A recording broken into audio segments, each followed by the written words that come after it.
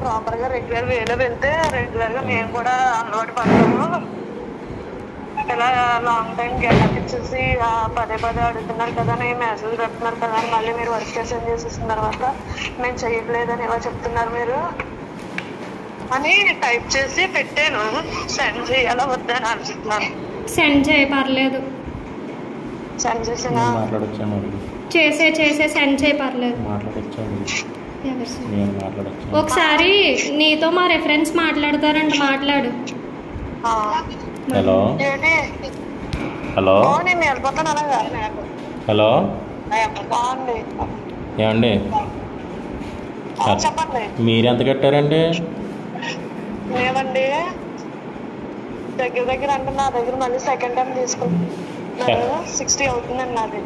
మొత్తం సిక్స్టీ కట్టారా మీరు? ఆ, ఓకే. సిక్స్టీ అంటే సిక్స్టీ కూడా ఫిఫ్టీ ఫైవ్ థౌజండ్ అలా ఉంటుంది. అంటే యాక్చువల్లీ ఏంటంటే నేను కట్టింది ఫార్టీ ఫైవ్. మళ్ళీ నా దగ్గర అడ్జస్ట్మెంట్ అని తీసుకున్నాడు అనమాట డబ్బులు ఇంకా ఇవ్వలేదు.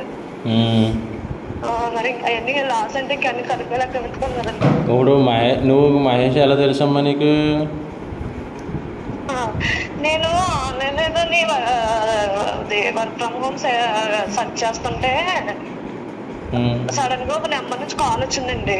ఉమ్, ఇలాగా వేకెన్సీస్ ఉన్నాయని వేకెన్సీస్ ఉన్నాయంటే ఎవరెవరో మాట్లాడేవారు అనమాట మాట్లాడుతుంటే ఫైనల్గా మహేష్ గారు మాట్లాడారు. యాక్చువల్గా నేను రిఫరెన్స్ కాదమ్మా. వీళ్ళు నాకు తెలుసు అని చెప్పేసి నేను రిఫర్ చేశా ఒకడికి. మీకు ఎవరు తెలుసండి? నాకు గణేష్ తెలుసు. అయితే నాకు తెలిసి ఫస్ట్ గణేష్ మాట్లాడి ఉంటారు నాతోటి. Hmm. ఒకరికొకరు నెంబర్ షేర్ చేసుకుని ఉంటారు.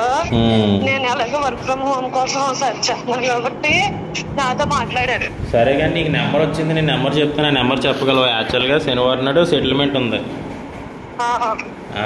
యాక్చువల్గా ఏంటంటే నీకు ఈ శాలరీస్ ఎన్ని పడ్డాయి? ఒకటే కదండి. మూడు వేల ఏడు వందలు ఒకటేనే పదహారు వేలు ఒకటేనే. పదహారు వేలు వేసారా నీకు? మా యమున గది కూడా ఏమోనండి, అది కూడా వేయలేదండి. ఇప్పుడు ఏంటి మెసేజ్ పెట్టారు మేడం గ్రూప్లోని. వర్క్ సరిగ్గా చేయరు కానీ వర్క్ అసెంబ్లీ చేయలేదంటారు శాలరీ వెళ్ళదంటారు అన్ని పెడుతున్నారు. ఇప్పుడు మీకు తెలిసిన ఆయన రెఫరెన్స్ ఇప్పుడు అంటే మా మా వైపు మేము చెప్పాలి కదండి. కరెక్టే సార్. ఇప్పుడు మనం వర్క్ సరిగ్గా చేయలేదు. ఇప్పుడు అప్పుడప్పుడు ఇస్తే ఎలా చేస్తారండి? ఒక వే ఒక విధానం ఉంటే రోజు ఒకలా ఉంటారు రోజు చేస్తారు. ఇప్పుడు వంట ఉంది, రోజు కంటిన్యూగా చేస్తాం కాబట్టి ఆ టేస్ట్ ఆ వేరియేషన్స్ అన్ని తెలుస్తాయి. ఇప్పుడు నెల రోజులు కంప్లీట్గా వర్క్ లేనే లేదు. నాలుగు రోజులు ఇచ్చుంటారు వర్క్ అందుకనే అంటున్నాను ఏంటంటే మొత్తం అందరూ కలిసి ఒక యూనిట్గా తయారైతే ఫైట్ చేయడానికి ఈజీగా ఉంటుంది. మోసపోకూడదు మరి ఇంత దారుణంగా అదే ఏంటమ్మా మీరెక్కడ ఇంకా అన్నది మోసపోయిన ఇంకా చాలా మంది ఉన్నారు. రెండేసి లక్షలు మూడేసి లక్షలు కట్టేసి లాస్ అయిపోయిన వాళ్ళు చాలా మంది ఉన్నారమ్మా వాళ్ళందరూ- మొన్న మా ఆయన పంపించానండి. నా దగ్గర అడ్జస్ట్మెంట్ కానీ టూ డేస్ కానీ డబ్బులు తీసుకున్న తర్వాత ఫోన్ లిఫ్ట్ చేయట్లేదని మా ఆయనకి చెప్పిన విషయం. చెప్తే నువ్వు ఆ జాబ్లో జాయిన్ అయ్యవద్దండి మళ్ళీ చేతి డబ్బులు కూడా ఆడికి ఇచ్చావు అని మళ్ళీ కోపంగా వెళ్ళాడు. ఆఫీస్ చూసారా మీరు? చూసామండి. ఇప్పుడు లేదు కదా ఆఫీసు? ఇప్పుడు ఆఫీస్ లేదు. మా ఆయన వెళ్ళినప్పుడు ఒక ఆఫీస్ ఉంది నేను వెళ్ళి డబ్బులు కట్టినప్పుడు ఒక ఆఫీస్ ఉంది. ఇప్పుడు ఆ రెండు లేవు. ఇప్పుడు ఆ రెండు ఉండవు. ఎందుకంటే ఇప్పుడు హైదరాబాద్లో ఆఫీస్ ఓపెన్ చేశారు. ఇప్పుడు ఇప్పుడు ఆంధ్ర సరిపోలేదు. హైదరాబాద్ ఆఫీస్ ఓపెన్ చేశారు. ఎందుకంటే వీళ్ళు జుజూమ్ సాఫ్ట్వేర్ సొల్యూషన్స్కి డబ్బులు కట్టించి ఏదో సంథింగ్ ఏదో చేశారంట. అని నాకు తెలియదు పెద్దగానే. బట్ ఏంటంటే వీళ్ళు ఆఫీస్ వస్తున్నారని చెప్పేసి నాకు తెలిసిన ఇన్ఫర్మేషన్ ఏంటంటే ఇలా హైదరాబాద్ వెళ్ళిపోయారన్న ఇన్ఫర్మేషన్ అయితే నాకు ఇలాగ వచ్చింది నాకైతే. హైదరాబాద్ వెళ్తున్నాను అంటున్నాడు అండి అయితే హైదరాబాద్లో పెట్టుంటాడు. ఇక్కడ అందరినీ మోసం చేస్తాడు కదా. అక్కడ ఇన్స్టిట్యూట్ ఏదో పెట్టారంట. హైదరాబాద్లో ఉండిపోయినట్టున్నారు జనం వాడికి ఆ, హైదరాబాద్లో ఇన్స్టిట్యూట్ పెట్టారంట. మా ఆయన వెళ్ళి ఇలా మాట్లాడినందుకే మీరు ఎలా మాట్లాడారంటే అలా మాట్లాడినారు? ఇప్పుడు మన నేను మీతో షేర్ చేసుకున్నాను ఓపెన్గా మాట్లాడుతున్నాను. ఇప్పుడు ఏంటంటే ఇప్పుడు ఆ మహేష్ గారు మంచోళ్ళు అయిపోవడానికి నేను చెప్పిన చెప్తున్నారు తప్ప అవతల చెప్పిన చెప్పట్లేదు. ఇప్పుడు ఏమన్నా ఒక్కరిదానికే డబ్బులు ఇప్పిస్తే అది కరెక్ట్ కాదు. ఆ, మొత్తం అందరూ యూనిట్గా తయారయ్యి ఫైట్ చేస్తే వాళ్ళిద్దరిని కూడా మూసేయచ్చు. అవునండి. మూసేసి మన డబ్బులు మనకి ఇప్పించవచ్చు. లైక్ ఎవరైతే కంపెనీ మాకైతే ఫస్ట్ అమెజాన్ అని చెప్పేసి చెప్పారు. హండ్రెడ్ పర్సెంట్ అమెజాన్ అని చెప్పి చెప్పారు. హండ్రెడ్ పర్సెంట్ అమెజాన్ అది ఇది అని చెప్పేసి అన్నారు. ఇందులో వైజాగ్ కంపెనీ ఉంది. ఇలాగే ఇన్స్టిట్యూట్. ఆ, ఇన్స్టిట్యూట్లో ముప్పై మంది జాయిన్ అయ్యారంట. అందులో అందరూ లక్ష యాభై వేలు లక్ష డెబ్బై వేలు అలా కట్టి తీసుకున్నారంట. అందులో అక్కడ కూడా ఆడు కూడా ఆఫీస్ తీసేశాడు. సేమ్ అండి కన్సల్టెన్సీ వేరుగానా? ఆ, ఇదండి. మీ కంపెనీ ఇప్పుడు మీకు ఏదైతే అమెజాన్ వచ్చిందని ఆఫర్ లెటర్ వచ్చిందో సేమ్ ఆఫర్ లెటర్ అందులో జాయిన్ అయ్యి ఇలాగే అలా ఫైట్ చేస్తున్నారని చెప్పి ఆడు కంపెనీ తీసేశాడు. ఉమ్, ఇవన్నీ నాకు రీసెంట్గా తెలిసినాయి ఇది సో మీ టీం ఎంతమంది ఉన్నారో అంతమందికి ఒకసారి కన్సల్ట్ చేసుకుని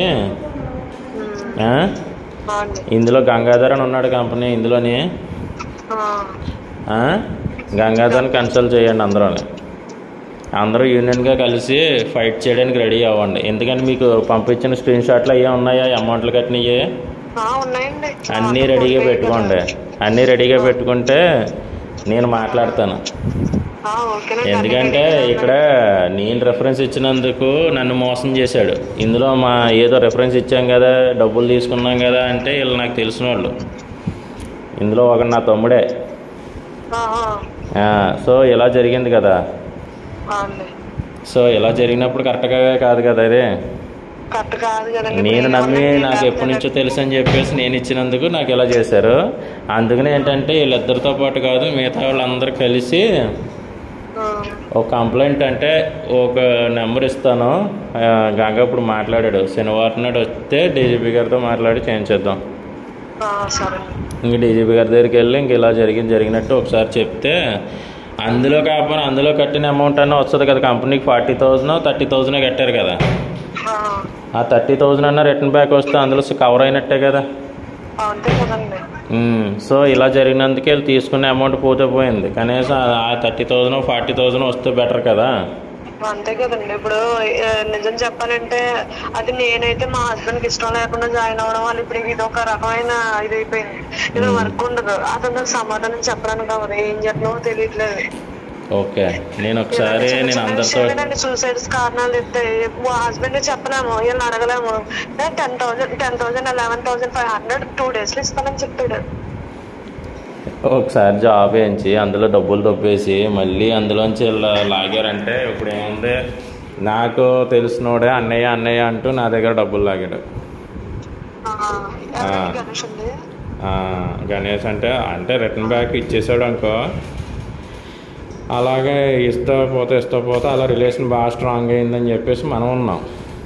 కానీ నమ్మించి మోసం చేశాడు నన్ను మోసమే కదండి. ఇప్పుడు ఒకవేళ జెన్యునే అనుకోండి ఏ అందరికీ వేసారు సార్లు తనకు కూడా పడాలి కదా ఫోన్లే పడలేదు తను ఏదో ఏంటి బ్రాంచ్ నేమ్ తప్పించింది అన్నారు.